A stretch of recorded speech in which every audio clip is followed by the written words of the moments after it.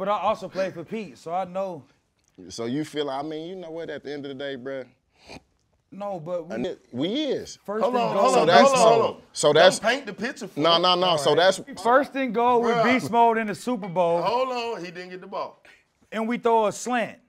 I like six. the call though. I hate that. See, only a, re- only, I a, bet only a receiver. You But you, guess what? A, a receiver that guess what? Malcolm Beasley said, "Thank you, coach." That No, Butler, dumbass. Butler, yeah, Butler. Malcolm. Be- yeah, we call him Malcolm Beasley. That's my okay, dog, okay, Malcolm Beasley. That's really my dog. Yeah, he made Yeah, one big play. Yeah. Nah, we ain't gonna do that. But go ahead. Go ahead. Go ahead. So what?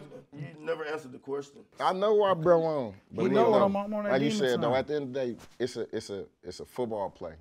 You feel what I'm talking about? No, no, money. Don't give me that. But the thing is, you feel me? Like I told you before, I'm humble. So a lot of people, when they hear that, they won't think that.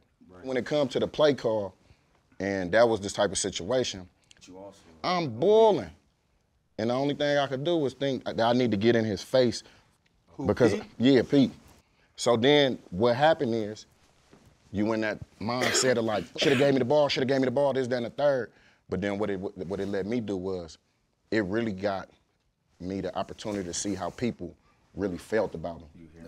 So when I walk in that uh, that building, you feel me though, that was a level of respect for me. that was like the highest level of respect to the point where we at the the peak of our careers, you feel me though, with the opportunity to go ahead and start a dynasty and then we fumbled a bag on the two yard line.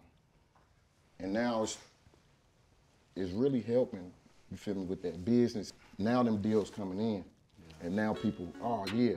Man, they should have gave you that ball. Conversation started. Oh, okay, well, what kind of business you got? oh, I got this. Ooh, oh, okay, well, yeah, how, I- you know what I mean? How I wiggle myself up in this little thing right here, player.